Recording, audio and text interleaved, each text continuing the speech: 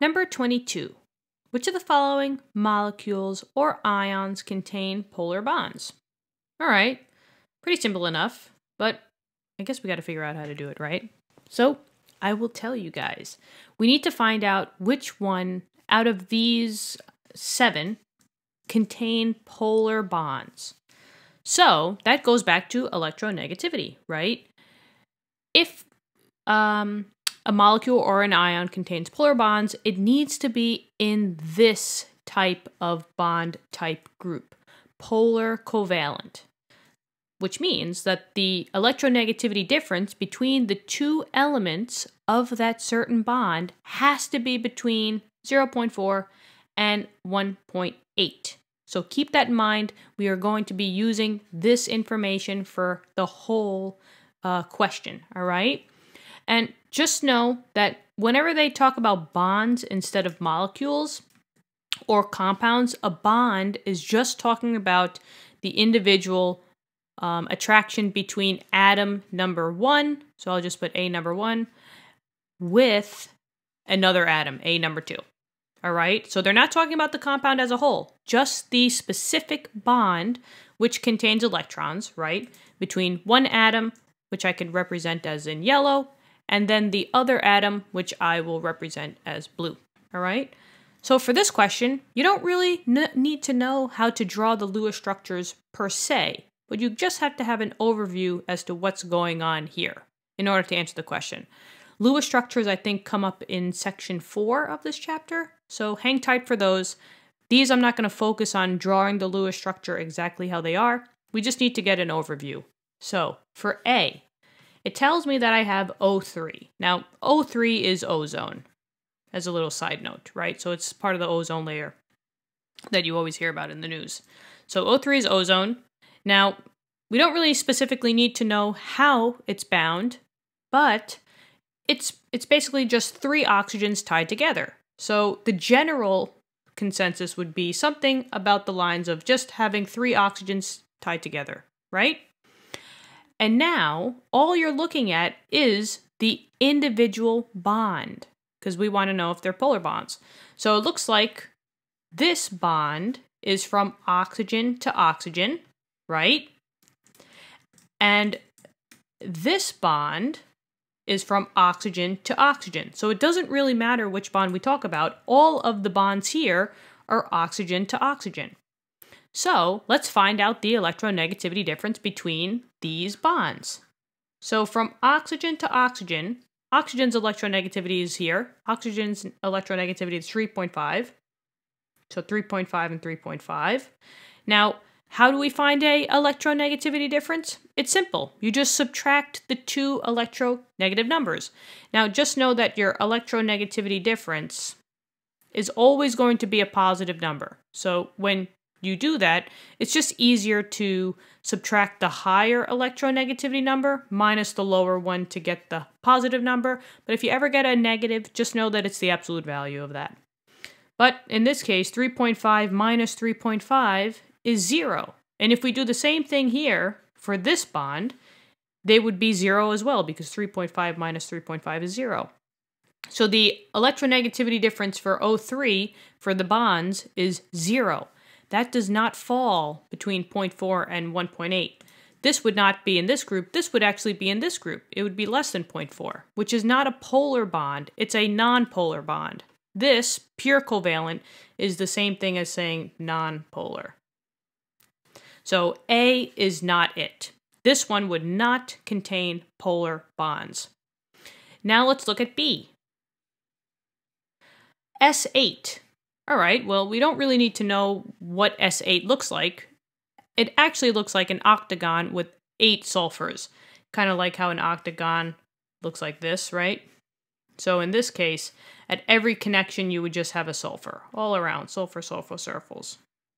Say that 15 times fast, right? But when it comes down to it, all the bonds are technically a sulfur bound with another sulfur. And sulfur's electronegativity is 2.5. So I have 2.5 here, 2.5 here. If I subtract the two, I get the same response as what oxygen had, right? Zero. And once again, ox- uh, 0 does not fall between 0.4 and 1.8. So B is out. Next, we have O2 2 minus. So let's see. For C, O2 minus, but how are these bonds formed, right? Well, I just have literally two oxygens, right? There's two oxygens here, and those are the only elements, so it has to be something as far as oxygen bound to another oxygen, right? Because that's the only two elements here. So, just like before, oxygen is 3.5, and the oxygen is 3.5, so if we subtract them, we get zero. So there is no electronegativity difference here. This would also be zero, so that's out. D, NO3 minus 1. Now, this is where it gets a little complicated, but I know you guys can do it, right? We don't need to know the specific Lewis structure, but we kind of need to know what's going on here. It looks like there's one nitrogen which is surrounded by three oxygens. And side note, the central atom for an element will always be the least electronegative out of the elements that you have. So since nitrogen is electronegativity of 3, oxygen is 3.5, nitrogen would be in the middle, surrounded by three oxygens. The only exception to the rule is hydrogen. Hydrogen can never be in the middle, it will always be on the outside. So in this case, we have three bonds, one, two, and three, and they're all technically an N bound with an O. So I can simplify that, right? I just have three of these bonds. So now let's see if that bond is polar. Well, nitrogen is 3.0, oxygen was 3.5, so when we subtract them, take the absolute value, and it, you would get 0.5 as your difference. Oh, and 0.5 is between 0.4 and 1.8. So what do you think? This is actually polar covalent. So these would be a polar covalent bond, polar bond. So this one would be one of them. That would have polar bonds because the electronegativity difference is between 0.4 and 1.8. Next, I'm going to put E over here. We have CO2. So for this question, don't worry about what the Lewis structure specifically looks like, but just kind of get the drift. I have carbon with two oxygens. The least electronegative goes in the middle.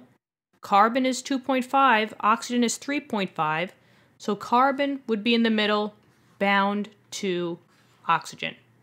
So in this case, it looks like you have two of the same bonds. You have two CO bonds, right? CO over here and then CO over here. So I just got to find out the electronegativity difference between that bond. Carbon was 2.5, oxygen was 3.5. You subtract the two, take the absolute value, you get a electronegativity difference of 1.0, and that is between 0.4 and 1.8.